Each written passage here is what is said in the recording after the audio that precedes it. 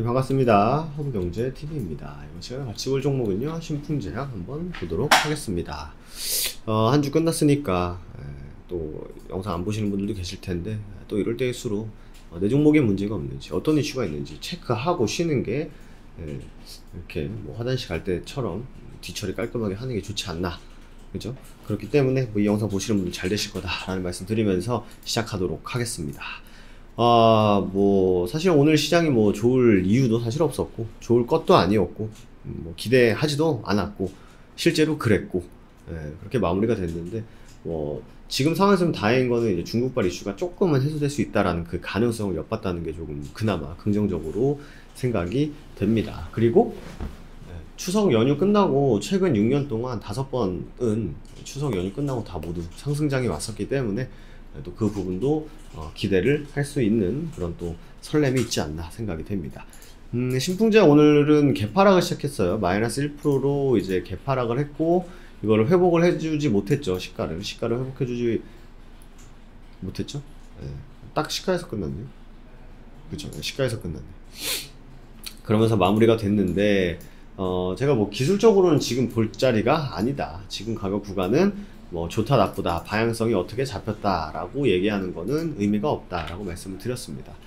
근데 이제 뭐 치료제 관련주들 코로나 치료제 관련주들이 새로운 친구들이 굉장히 많죠. 뭐 특히 최근에는 오늘 한국 BNC라는 종목이 뭐 신고가를 간 것 같던데 어 그래서 새로운 그래서 과거에 이제 약간 좀 핫했던 2020년 2020년도의 치료제들 예, 그런 부분보다는 새로운 치료제들이 지금은 다시 한번 움직여주고 있다라고 보시면 될 것 같은데 이런 기사가 하나 나왔어요.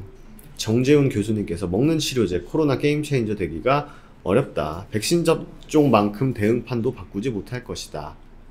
라고 이제 말씀을 해주셨는데 뭐 다 이유가 있겠죠? 치료제가 게임 체인저가 되는 경우는 매우 어렵다고 생각한다. 걸려서 치료하는 것과 걸리지도 않게 해주는 것의 차이는 매우 크다. 음.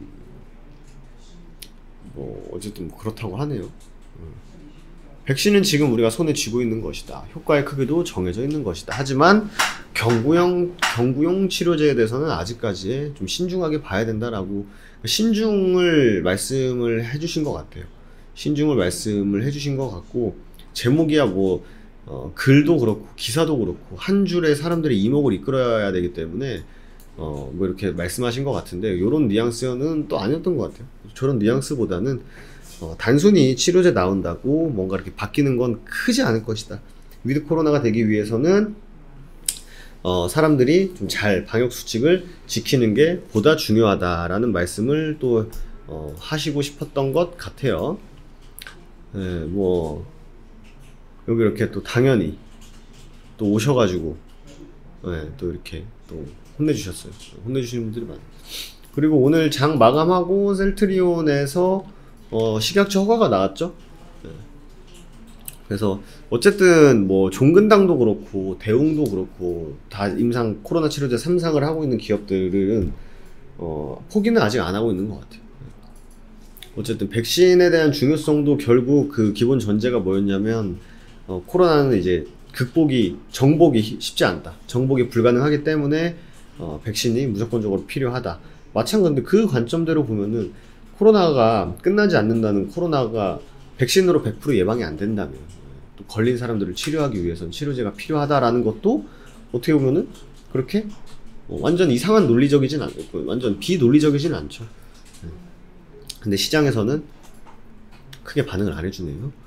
그리고 공매도 어제부터 공매도가 어, 공매도 재개되고 역대 두 번째로 많은 수치의 공매도가 나왔는데 오늘도 공매도 매매 비중이 10% 정도 되면서 어, 사실 최근 요번 주 시장 보면은 세력들도 다 집에 다 연휴 떠난 것 같고 외국인 기관 투자자들도 그렇게 뭐 어, 열심히 또 이렇게 주식시장에 거래하는 것보다는 그냥 뭐 살 거 있으면 좀 사고 좀 관망하는 포지션이 더 많았던 것 같아요.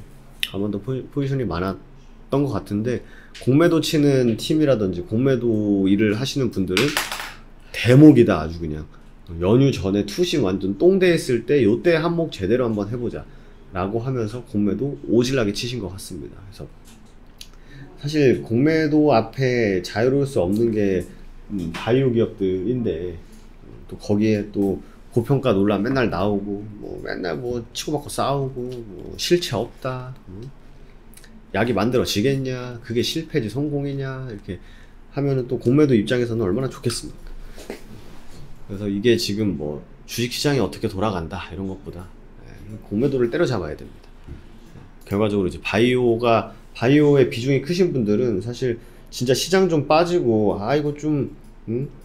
어, 시장 좀 분위기 안 좋네 할 때 결국 나를 끌어내리는 거는 공매도기 때문에 예, 공매도 좀 안 쳤으면 좋겠는데 어쨌든 공매도 열심히 치시는 것 같아요. 지금 보시면 어, 수량 자체는 그렇게 크진 않습니다만 이게 외국인일 수도 있고 기관일 수도 있겠는데요.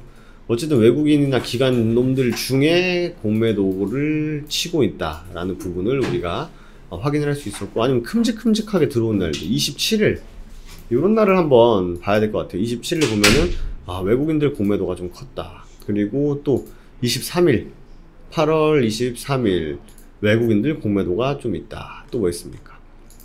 8월 9일 외국인들의 공매도가 좀 금투도 좀 있습니다만 그리고 7월 30일 아주 오질나게 쳤던 것도 외국인이었고 음, 결국 외국인들이죠. 음, 외국인들이고 금투도 조금 보태는 것 같고 신풍제약이었는지 시제니였는지 박셀바였는지 기억은 명확하게 나진 않습니다만 어, 금투놈들이 공매도 지금 오질나게 치고 있다라는 부분은 어, 다양한 종목에서 지금 나오고 있습니다. 저희 채널 안에 올라가는 대한전선도 보시면 지금 공매도가 이틀 연속 많이 나왔어요. 네, 금투에 외국인 다 같이 들어오죠.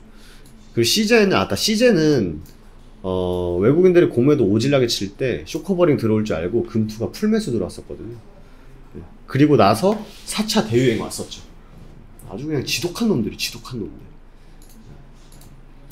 그래서 공매도의 그 틀에서 쉽게 이렇게 벗어나기 어렵고 그리고 어제 또 어, FTSE에서 뭐 large cap에서 small cap으로 뭐 강등된다라는 기사까지 우리가 봤었는데 예, 그런 거 하면은 사실 투심이 좋을 수가 없겠죠. 투심이 조금 아쉬운 상황일 수 있고 그리고 뭐 특별히 회사에서 말도 없는 거 보면은 속이 타들어가는 거는 결국 주주들밖에 없다.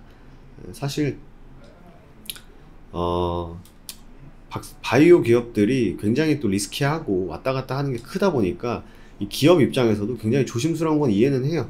어, 이해는 합니다만 굳이 그렇게 뭐 숨길 필요 혹은 뭐 일부러 숨기는 건지 아닌지 모르겠습니다만 굳이 뭐 굳이 알아야 될 내용 주주들이 알, 알면 좋을 법한 내용 그, 그 회사 직원들이 사회성이 제로인 사람들이 없을 거 아니에요.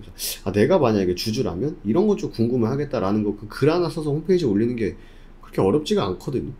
네, 근데 그거조차 안 하는 거 보면 의지가 없는 거죠 사실.